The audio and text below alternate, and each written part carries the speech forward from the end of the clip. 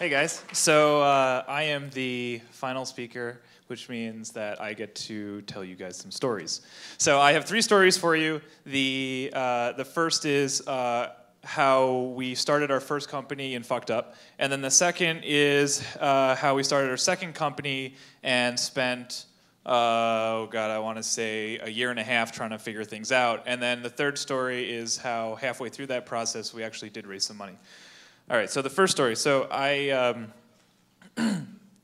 I left Etsy in November of 2008, and uh, if you remember November 2008, it was a terrible time to get a job. Uh, you know, it was like every day the headline was, the Dow drops another thousand points. And so we, I was kicking around some ideas. I got a Facebook message from a college friend of mine who said, Hey, I haven't talked to you in about three years, and now I have all this money. Would you like to talk about starting a company? And I said, Sure, let's get dinner. He paid.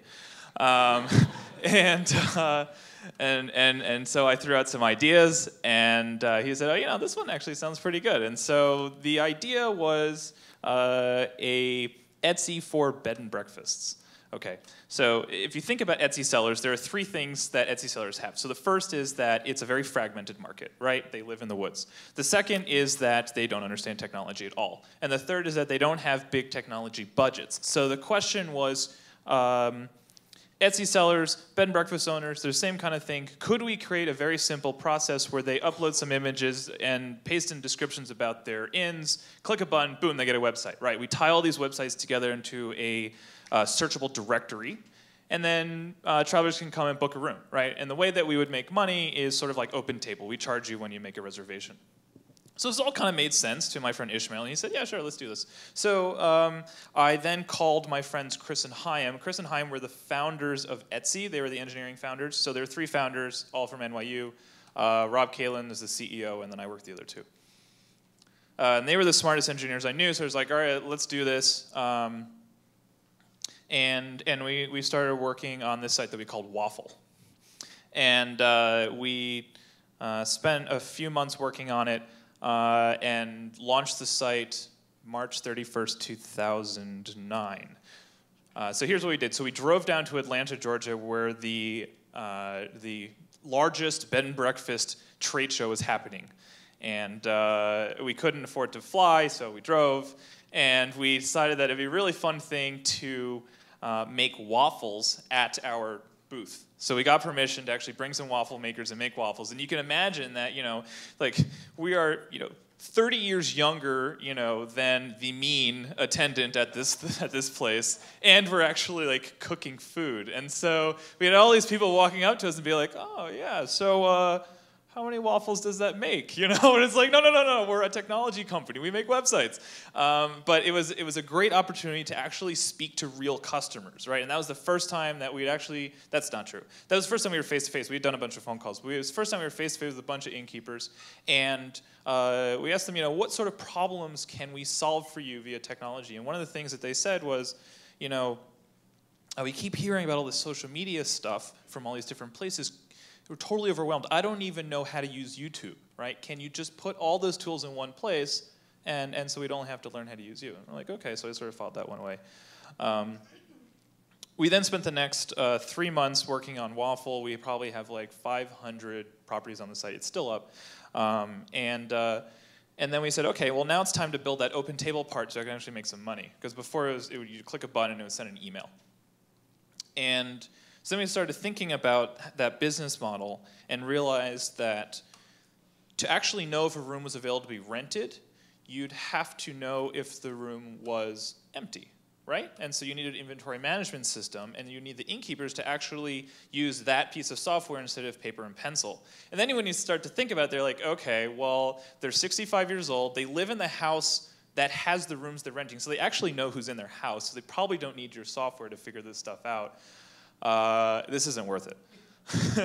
so, so if any of you are actually like MBA students, you've probably been like, you know, like six months ago, you could have sat down and written a piece of paper and figured that, figure that out. But we're all engineers, so we just built the darn thing. Um, so, so, so we're like, oh shit, well, what else are we gonna do? Um, and then I remembered that conversation about social media that we had at the conference, and then that's that's when I was like, well, you know, let's just do that instead.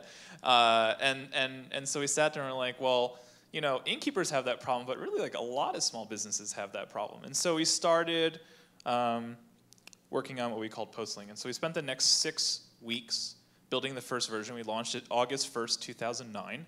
And uh, after about three months, we had 400 people 20 of them paying us money, $9 a month. We made $180 a month, which is like great. Um, doesn't pay the bills. Uh, so, so I was lucky enough to um, get asked to demo at the New York Tech Meetup, which you guys may have been able to attend. Um, I think there's probably now like a thousand people who actually go to this thing. At the time, it was like 450, and um, and so I gave this presentation. Afterwards, someone came up to me and said, Hey, you know, I work at an agency. We have a dozen clients who all want us to do their social media for them. Could we manage them all from your one tool? And so I thought to myself, well, you know, we could probably sell that for $250 a month, which would be way more than we're making from all the other customers we've had combined.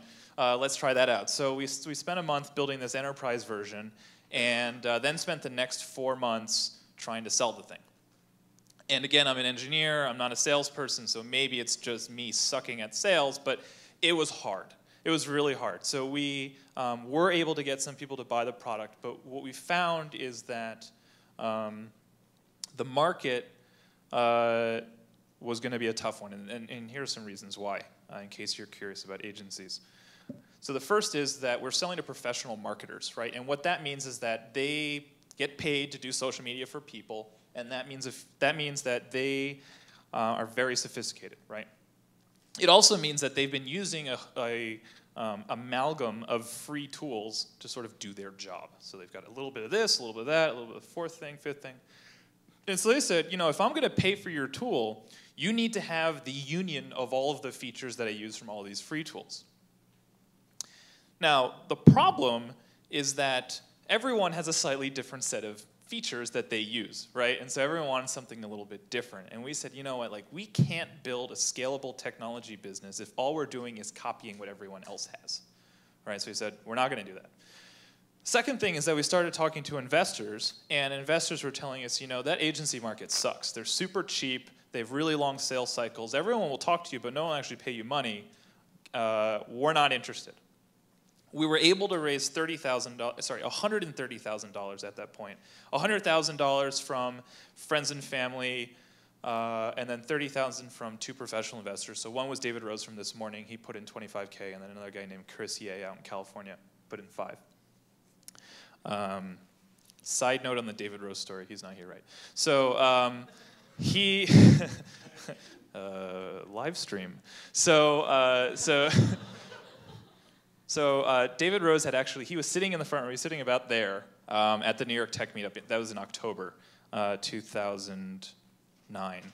And um, in January, uh, we went out on this service called AngelList, which at the time was brand new. There were probably about 30 investors on it. So they, they, you, you fill out this application that has you know, information about your business, and then they click a button and they send email to these investors that has all your information, and then they email you back saying, hey, this is kind of cool, let's talk. So he was on that. We were sent out. He saw us but never responded. And then a couple weeks later, I get an email from him saying, hey, you know, I have this side project that I call AngelSoft. There might be an interesting technology partnership between us. Do you want to come in and chat about it? And I said, okay, sure. So, you know, I go in um, with my co-founders and um, we sit down at this big conference table and his other associates come in and we sit down, turn on the projector, link up the laptop. And I'm like, great, let's talk about AngelSoft. And he's like, no, pitch me. I was like, okay. Um, and so, you know, given the pitch, 40 minutes later, he's like, okay, I'm in for 25,000. You know, and so I was like, awesome. That was the first like real money we'd ever gotten from real investors who weren't my parents or like former bosses. Um, but we were still getting really hung up on this uh, uh, who's your market, right? Who's your customer? And so we said, you know what, all right, let's switch back to the small businesses. We know small businesses from Etsy days. You know, we're really passionate about. We're not passionate about agencies. Um, so just can we think a little bit bigger? So we did. So we um, said, you know what, maybe in addition to just bringing all the social media in one place, can we start to think about all of the other online marketing tools that a small business uses? Can we bring those into one place? Is there any sort of efficiency that comes out of having all these tools you know, on one platform? Is there any sort of new value that comes out of connecting these different pieces? You know, if I write a email newsletter, right? Don't I also want to publish that as a blog post? Would it make sense to have those two tools combined together, right? Or if I get a new Yelp review for my restaurant, would it make sense for me to want to publish that a five-star review to my blog, right? So there's there's some interesting things that happen here. So we um, went out to AngelList again, and here's my final story. Um, uh, any of you guys been to South by Southwest? One. Jesus, guys, get out of here.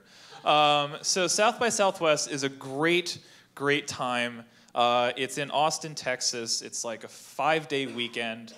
Uh, weekend, um, and and it's it's a lot of fun. It's like a technology festival, and so uh, the the guys who run AngelList um, told me that um, if we made any major changes to the business, they'd be willing to send us out a second time. And so we actually changed from being agencies to small businesses. That counts, right? And we changed the vision a bit. And so they sent us out. This time, AngelList had grown to maybe, I don't know, 150 investors or something like that. It's now 14, uh, 1,400, by the way. Um, and so we got sent out, and a bunch of people actually emailed back saying, oh, yeah, we're interested in talking to you. And the first guy was a guy named Tom McInerney, who is now the COO of a startup called Klout.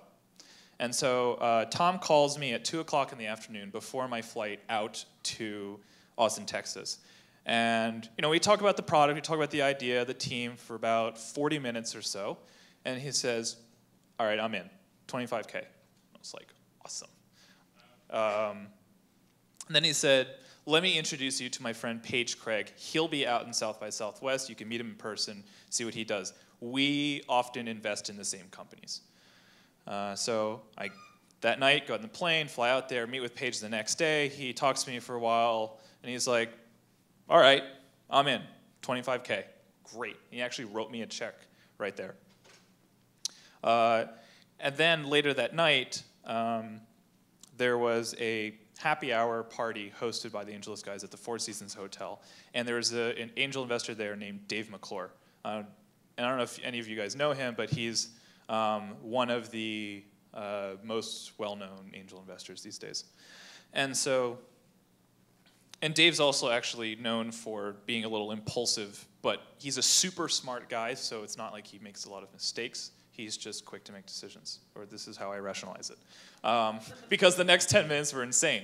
So, so Paige pulls over Dave at this happy hour, and he says, Dave, I just invested in these guys, Etsy founders, small businesses, social media, cool market, cool idea. Um, you know, they've got a couple thousand businesses using them already. You know, you should talk to them.